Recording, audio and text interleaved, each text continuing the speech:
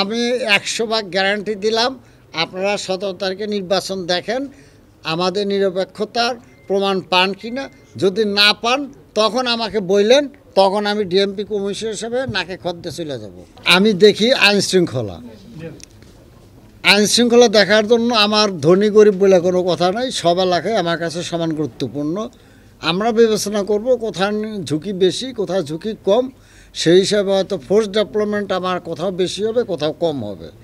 আর আজকে নির্বাচন উপলক্ষে মাননীয় প্রধান নির্বাচন কমিশন আমাকে ডাকছিলেন, আজকে মিটিং আমন্ত্রণ করছিলেন, আমরা আসছি।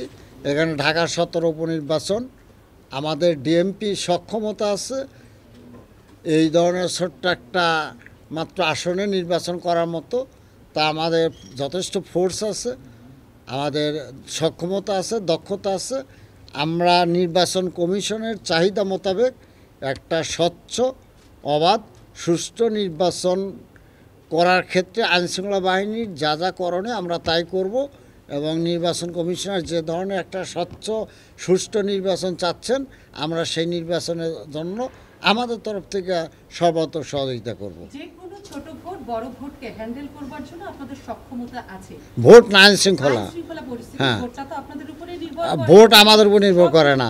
ভোট নির্ভর করে জনগণের উপরে প্রিজাইডিং অফিসার পোলিং অফিসার এদের উপরে।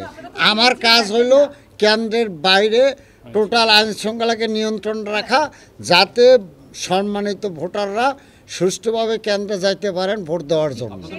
সেইটুকু আমরা নিশ্চিত করব। কেন্দ্রের মধ্যেও আপনাদের পুলিশ থাকে। কেন্দ্রের ভিতরে থাকে না সেই ওই বাইরে থাকে